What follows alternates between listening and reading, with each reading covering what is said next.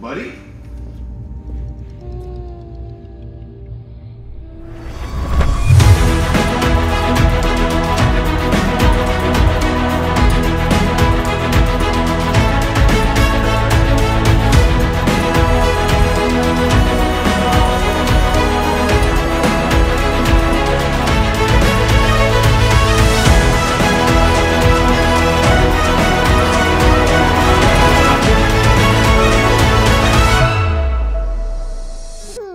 Happy babies, happy homes. Thanks to Born Babies.